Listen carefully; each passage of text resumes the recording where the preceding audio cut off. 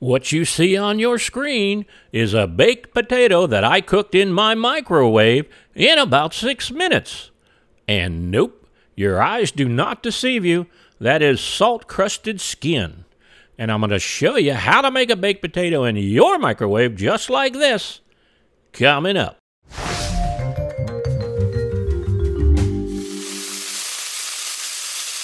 Before you can appreciate how to cook a baked potato in a microwave, you need to understand a couple of things. And the first thing is that microwaves do not cook from the inside out.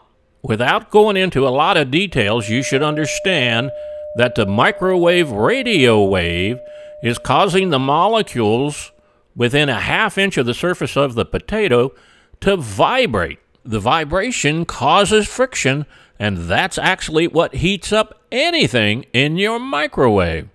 You might be asking, why is this important? Well, if you don't take precautions to keep the outside of the potato hydrated, it's going to get dry and wrinkly and unappealing. The way to solve that problem is to use a large bowl, put your potato in, and then cover it with a plate. The plate holds the moisture in the bowl around the potato while it's cooking, and if it gets too much pressure, it'll simply lift the plate up and burp. And of course, some folks are going to be asking, why not just use plastic wrap? Well, I'm pretty sure that that plastic wrap is not intended to be heated, especially at the temperatures around a baked potato. Okay, now that you know how a baked potato actually cooks in a microwave, it's important to pick the right size potato. If you choose a potato that's too big, it will be raw on the inside and overcooked on the outside. The best size potato for cooking in a microwave is a medium sized potato. Once you have your potato picked out, take it over to the sink and scrub it clean. Next, you want to take a small knife and slice two openings, one on each end of the potato. You do not need to attack the potato with a fork.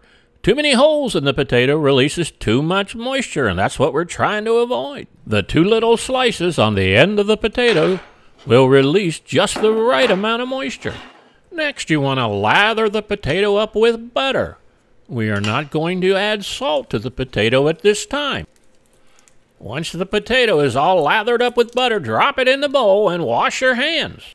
Next, put a microwave safe plate on top of the bowl and put it in the microwave.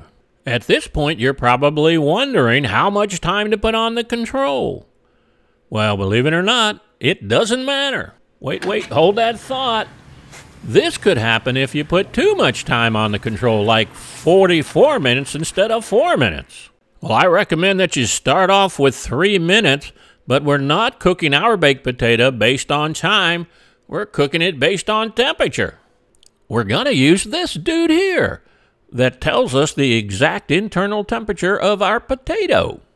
We're going to insert the probe into the center of the potato, and we're looking for about 190 degrees because we want to add some salt and put it back in the microwave and then check it for our final temperature.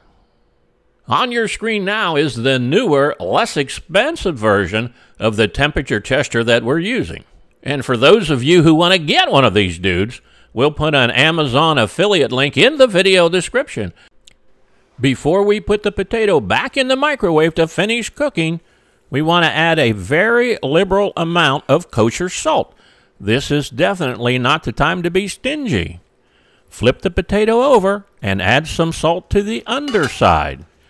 Then put your plate back on and put it back in the microwave. The time you put on the control this time depends on the power of your microwave and the size of the potato. Until you figure your microwave out, I would recommend you use only two minutes. If you have a real powerful microwave, you may want to only set it for one minute. If you want to make sure that your baked potato from your microwave is not overcooked, make sure that the temperature is as close to 210 degrees as possible. If you are cooking a medium-sized potato, it will be fully cooked at that point. Now let's go ahead and slice this open and have a peek inside. That may be too much salt for some folks. You can simply brush it off if you want. The butter and the salt on the outside of the baked potato really does bump up the flavor. Next, let's add some butter, some cheddar cheese, and put it back in the microwave for about 25 seconds to melt the cheese. And since you can't have too much cheese, let's put a little more on and have a close-up look at this microwave baked potato. Well, there you go, folks. Now you know how to make perfect microwave baked potatoes. And if you think we did a good job on this video, a thumbs up would certainly be appreciated. Thank you very much. And if you'd like to see more videos like this, well, I recommend you subscribe. Thanks for watching.